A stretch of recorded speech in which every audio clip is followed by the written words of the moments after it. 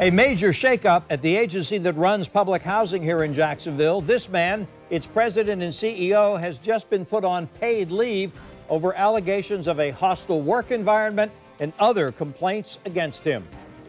Fred McKinnies is still on the job until next week and so far he has not responded to the complaints. Today, board members voted unanimously to remove him pending the outcome of an investigation by the city. News 4 Jax reporter Jim Piggott broke the story and joins us live from the Housing Authority with what he's been able to find out about these complaints. Jim. You know, there have been a number of complaints lodged here at the Housing Authority office against McKinnies. Now, we're known they mainly are concerned with a hostile work environment, but there are other concerns as well. The room was packed with employees from public housing, all there to learn what was going to happen to their boss, Fred McKinnies. Today, the Jacksonville Public Housing Authority voted to place McKinnies on paid administrative leave starting next week. Board members wouldn't discuss the complaints at the open meeting.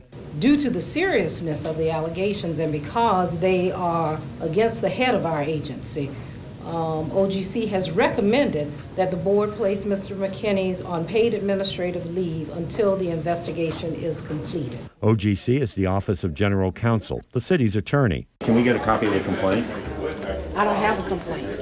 I mean, I, I, let me talk to my attorney. McKinnies has been with the Housing Authority since 1993. He wasn't available today. Officials from the Housing Authority and their attorneys would not release the complaint to us or talk about it. One person who did talk to us is this woman, Linda Sims. She's McKinnies' administrative assistant and has filed complaints.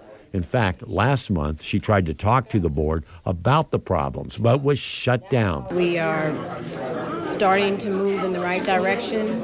There's um, transparency now. Um, and, and, you know, I'm willing to work with the agency as long as they are willing to work with me. What was it that the complaint uh, against Mr. McKinnies? Oh, there, there, there's multiple issues we're having, um, and they're looking into it. Is it? I mean, is it a hostile work environment in general? What was the problem? It was things that were out of my control. I worked directly for him. Um, I went through the necessary process, and they're working with me. No word on how long this investigation is going to take. I did try getting comment from the mayor's office, but they referred me right back here to the Housing Authority, which, as you saw, they're not talking. live in Springfield, Jim Piggott, Channel 4, the local station.